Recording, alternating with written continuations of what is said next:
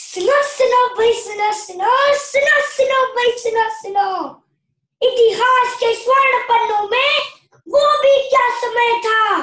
तब सोलह वर्ष का अभिमन्यु चक्रव्यूह में कूद पड़ा और नवयुग का निर्माण किया। वो भी क्या समय था?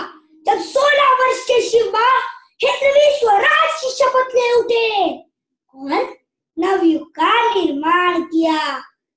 इतिहास, जिसे ना ही फिर से लिखा जा सकता है। अथवा बदला, परंतु इतिहास से जो प्रेरित होता है, वह विश्व की हर सिद्धि, हर सफलताएँ प्राप्त कर सकता है।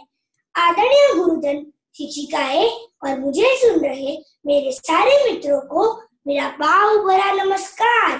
प्रेरित करने वाला मेरा आज का कथन अत्याधुनिक भारत के पौरुषवान चरित्र का है।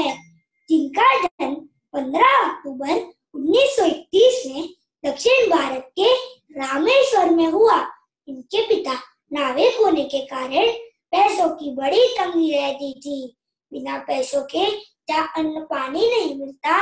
वहाँ पढ़ाई तो मानो, उल्टी गंगा बहाने जैसा था।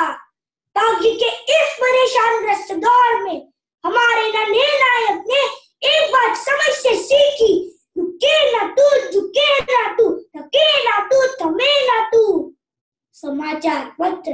जी हाँ सही सुना आपने। समाचार पत्र बेचकर उन्होंने पढ़ाई के पैसे जमा किए। घर में बिजली न रहती तो वह गली की बत्ती के नीचे बैठकर पढ़ते, पर परिस्थिति से हार नहीं मानते।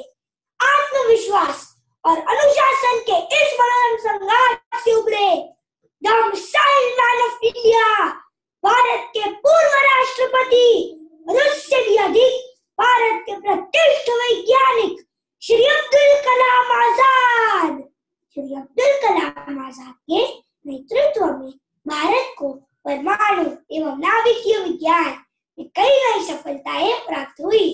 चंद्रयान और मंगलयान जैसे ऐतिहासिक विश्व प्रसिद्ध परियोजनाओं की श्री अब्दुल कलाम ने नींव बांधी। कलाम की पुस्तक विंग्स ऑफ़ फायर को पढ़ेंगे तो समझ आएगा कि धर्म स्थापना में अभिमन्यु का क्या योगदान रहा है पूर्ण स्वराज स्थापित करने में छत्रपति शिवाजी महाराज का क्या योगदान रहा है? तो हे कला।